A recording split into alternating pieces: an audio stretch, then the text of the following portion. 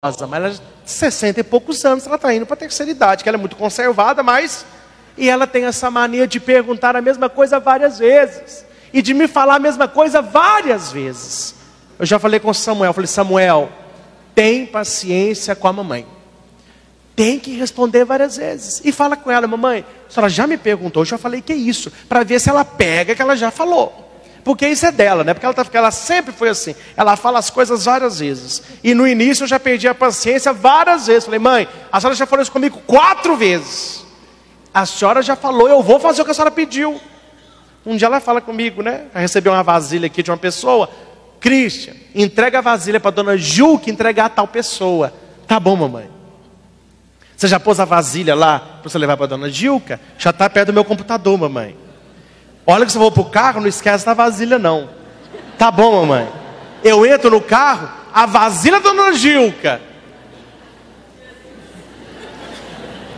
Tá bom, mamãe. Por dentro, a vontade é de falar, mãe, mas eu olho para ela e penso, um dia eu não vou ter mais. Então tem que ter paciência, tem que tratar bem. Porque um dia nós não vamos ter os nossos pais mais não. E quanta falta de paciência dos filhos hoje, os pais não podem falar nada. Que gritam, bate porta, faz malcriação. É, jovem, você vai chorar amargamente o dia que os seus pais não estiverem com você. O dia que você lembrar do que você já fez com seu pai e da sua mãe, e eles não estiveram com você, você vai pensar: ah, se eu pudesse voltar no tempo, eu faria tudo então não espere o tempo passar. A partir de hoje, faça tudo diferente. Finalizo com Provérbios, capítulo 6, versículo 20 ao 23. Pode ler? Vamos fechar os nossos olhos para escutar isso como oração. Presta atenção e assuma isso. Provérbios, capítulo 6, versículo 20 ao 23. Filho meu, guarda o mandamento de teu pai, e não abandones a instrução da tua mãe. Ata-os perpetuamente ao teu coração e pentura-os no seu pescoço. Guarda os conselhos do teu pai não esqueças a instrução da tua mãe.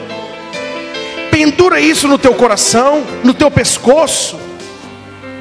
Quando caminhares, isso te guiará. Quando te deitares, te guardará. Quando acordares, falará contigo. Porque o mandamento é uma lâmpada e a instrução uma luz e as repreensões da disciplina são o caminho da vida. Guarda o mandamento do teu pai e não abandones a instrução da tua mãe. E para todos os jovens que aqui estão, os adolescentes que aqui estão, os filhos e filhas que aqui estão, eu vou ler uma pequena carta em nome do seu pai e em nome da sua mãe. Presta muita atenção e assuma isso no seu coração. Meu amado filho, minha amada filha, no dia em que este teu velho não for mais o mesmo, tem paciência e compreende-me. Quando derramar comida sobre minha camisa e me esquecer como atar os meus sapatos, tem paciência comigo e lembra-te das horas que passei a ensinar-te a fazer as mesmas coisas. Se quando conversares comigo, eu repetir as mesmas histórias, que já sabes como terminam, não me interrompas e escuta-me. Quando eras criança, para que dormisses, tive que te contar milhares de vezes a mesma história, até que fechasses os olhinhos. Quando estivermos reunidos e sem querer fizer minhas necessidades, não fiques com vergonha de mim. Compreende que não tenho culpa disso, pois já não posso controlar. Pensa quantas vezes pacientemente eu troquei as tuas roupas, te limpei e te quis sempre limpinho e cheiroso. Não me reproves se eu não quiser tomar banho, mas tem paciência comigo. Lembra-te dos momentos em que te persegui e os mil pretextos que você inventava para me convencer a não tomar banho. Quando me vires inútil e ignorante, na frente de novas tecnologias, não sabendo mexer direito no computador ou no celular, peço-te que me des todo o tempo que seja necessário e não me critiques com um sorriso sarcástico. Lembra-te que fui eu quem te ensinou tantas coisas. Ensinei você a comer, a vestir, a andar. Isso é resultado do meu esforço e da minha perseverança. Sem algum momento, quando conversarmos, eu me esquecer do que estávamos a falar, tem paciência, não grite comigo e me ajude a lembrar. Talvez a única coisa importante para mim naquele momento seja o fato de ver você perto de mim, dando-me atenção. Se alguma vez eu não quiser comer, que você saiba insistir com carinho, assim como eu fiz tantas vezes contigo. Que também compreendas que com o tempo não terei dentes fortes e nem agilidade para engolir. E você deverá pôr a comida na minha boca.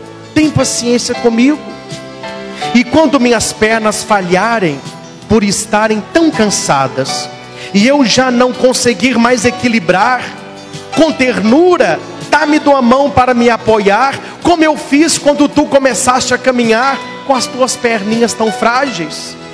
E se algum dia me ouvires dizer que não quero mais viver, não te aborreças comigo.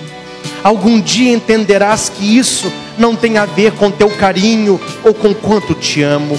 E compreendas que é difícil ver a vida abandonando aos poucos o meu corpo, e que é duro admitir que já não tenho mais vigor para correr ao teu lado ou para tomar-te nos meus braços como antes.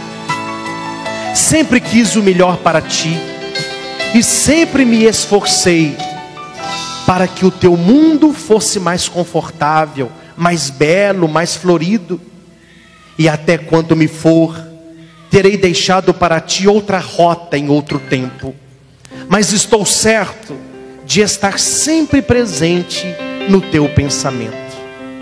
Não te sintas triste ou impotente por me veres assim. Não me olhes com cara de pena. Dá-me apenas o teu coração. Compreende-me e apoia-me como fiz quando começastes a viver. Isso me dará muita força e muita coragem. Da mesma maneira que te acompanhei no início da tua jornada, peço-te que me acompanhes para terminar a minha. Não me deixe sozinho Trata-me com amor e com paciência, e eu te devolverei sorrisos e gratidão, com imenso amor que sempre tive por ti, atenciosamente, teu pai ou tua mãe.